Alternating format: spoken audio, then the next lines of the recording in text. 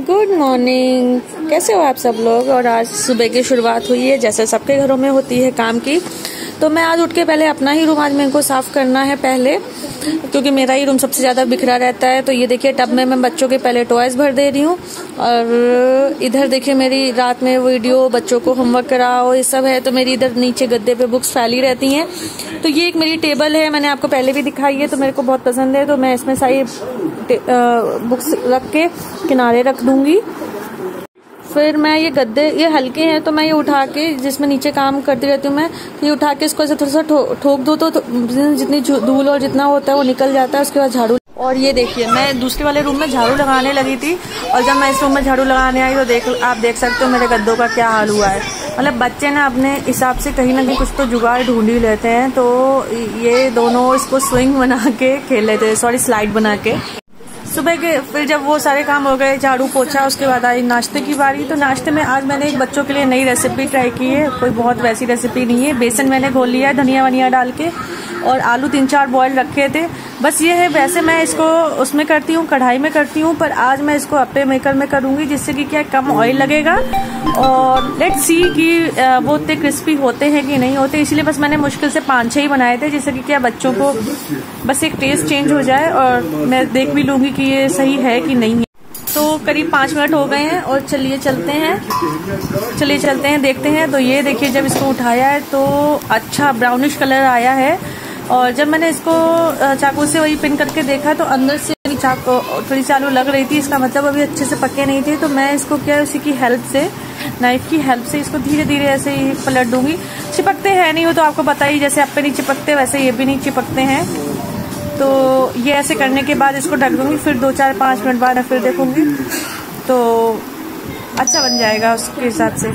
हम हम लोग का हो गया है नाश्ते का टाइम तो बच्चों के लिए तो मैंने वो बना दिया था आपको दिखाया था और मैं खा रही हूँ सब्ज़ी पराठा। भिंडी की सब्ज़ी आज बनाई है तो लीजिए आप लोग भी खाइए अच्छी सी बनी है चटपटी सी अब जाके खाना आ, खाना के अब जाके काम निपटा है पूरा झाड़ू पोछा।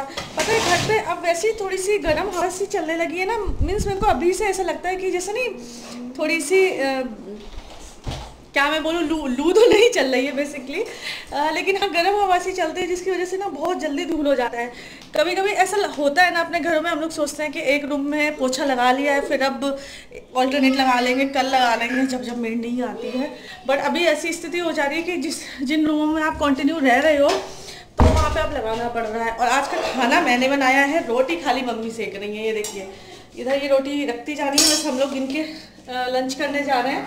और ये हो गया, ये देखिए। दाल में मैंने छोंक लगाई है, एकदम बढ़िया, चटपटी मिर्ची वाली आज बनाई है। इधर मैंने बनाई है भिंडी। और एज़ यूजल ये देखिए, मैंने बच्चों का काट के रख दिया है बीट रूट और इधर है हमारी सैलड। और इधर देखिए, मैंने फिर से एक पुदीने वाला रायता बनाया है, बूंदी का। बच्चों को भी बहुत पसंद आता है, थोड़ी सी गर्मी होने लगी तो मैं सोच रही हूँ मतलब थोड़ा थोड़ा सा खाना खिलाना मैंने स्टार्ट कर दिया था और ये देखिए, इधर हमारा माइक्रोवेव बंद हो गया है और टू टू की आवाज़ दे रहा है। और इसको खोलेंगे, पहले ऑफ़ करेंगे। तो इसमें देखिए, अंदर रखे हैं हमारे चावल, जो रेडी हो गए गर्म है, इसलिए इसको थोड़ा सा सी छोड़ देते हैं। मेरे पास एक्चुअली ग्लव्स मैंने आपको दिखाए हैं ग्लव्स हैं वो माइक्रोवेव के but most of the time मैं भूल ही जाती हूँ इसको यूज़ करना। तो चलिए पूरा खाना रेडी है एक साथ बैठ के खाते हैं और तब तक देखते हैं बच्चे क्या कर रहे हैं। और बच्चे ऐसा सच हमेशा की तरह उधर कर रहे हैं ये देखो। से हेलो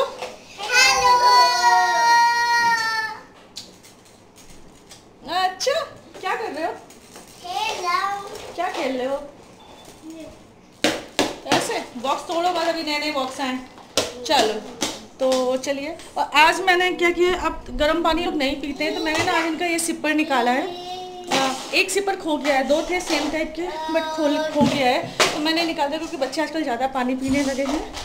तो चलिए मिलती हूँ आपसे थोड़ी देर तो देखिए, मेरी थाली रेडी है। इधर रख लिया है मैंने सैलड इधर रायता, इधर दाल, और दाल में ज़रूरी मेरी ये जो मिर्च तो ये देखिए घी ऊपर ऊपर आ गया है। घी से तड़का लगता है। भिंडी तो आइए, आप लोग भी खाइए मेरे साथ।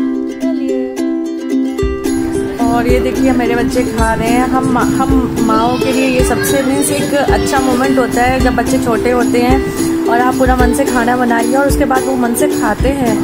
तो मेरे को बहुत अच्छा लगता है और अभी अभी मैंने कुछ दिनों पहले इन दोनों को अपने हाथ से खाना खिलाना सिखाया है तो अपने हिसाब से बहुत अच्छे से खा लेते हैं। क्या कर रहे हो आप लोग? और अभी बज रहे सुबह सुबह बोली हूँ शाम के चार। और यार मतलब आप लिटरली मतलब कई लोग ऐसे बोलने लगे लेकिन आप पक गए हैं यार। मतलब काम ना ख़त्म ही नहीं होते। थोड़ा बहुत तो मेरा थोड़ा स्कूल का हो जाता है, कुछ मेरे यूट्यूब का हो जाता है, वो है है बट साथ में जब से ये ऑनलाइन यू नो क्लासेस चलने लगी हैं तो बच्चों बच्चों का तो और हेडेक है। मतलब मेरे को इतनी टेंशन होने लगती है अभी से कि वो होमवर्क इनका होमवर्क भेजना है, शाम को मीन्स चार बजे के पहले भेजना रहता है, पूरा सब कुछ सबमिशन करना रहता है। तो अब भी मतलब आज ये लोग जल्दी खाना खा लिया था तो जल्दी सो गए थे और अभी शाम को उठ गए तो फिर मैंने जल्दी से मतलब जैसे नहीं, एक एम सा लगता है कि ये हमें पूरा ही करना है तो बस मैंने वो पूरा कंप्लीट करवाया है।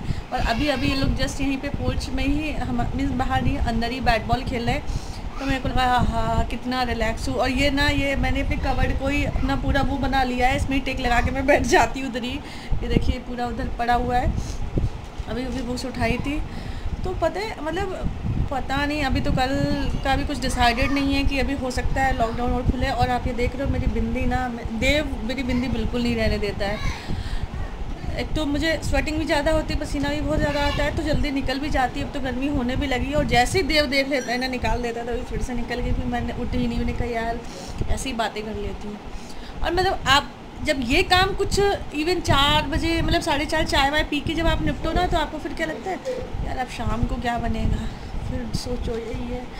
मतलब वही बर्तन, वही झाड़ू, वही कर कर के घर मतलब कितने दिन हो गए हैं कि घर के बाहर में रोड में नहीं देखा है कैसा क्या है, कितने लोग निकल रहे हैं, कुछ लोग फॉलो कर भी रहे हैं रूल्स या नहीं कर रहे हैं।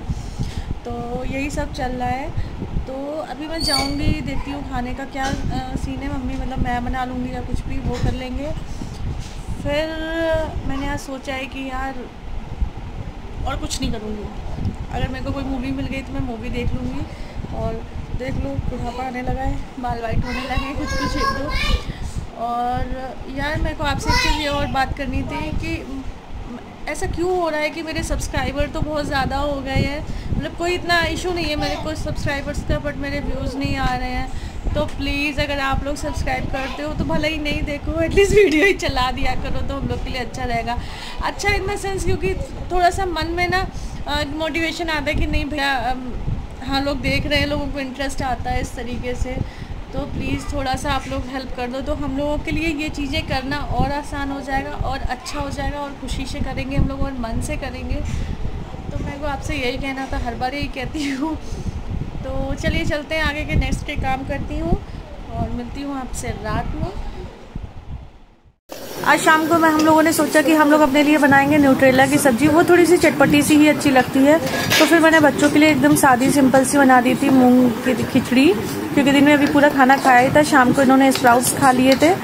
तो ये देखिए खिचड़ी बन के हमारी रेडी हो गई। बस इसमें छौंक लगाएँगे। और छौंक हम लोग इसमें अलग से लगाते हैं। कुछ लोग साथ में दे देते हैं। और आप देख रहे हो मेरा चमचा कितना ज़्यादा जल गया है। एक्चुअली हम लोगों ने एक चमचा बना ही लिया है, जिसमें हम लोग मतलब इसी में हम लोग छौंक लगाते हैं। तो इससे नहीं रहती मतलब बाकी चीज़ों के लिए ये यूज़ नहीं करते हैं। और जो बड़ा वाला होता है ना, जिसमें वो, जिसमें चौंक लगाते हैं, वो फिर बहुत बड़ा पड़ जाता है, वो भी है हमारे पास और ये देखिए, मेरे को समझ नहीं आ रहा वीडियो कहाँ से स्टार्ट करो, क्या है?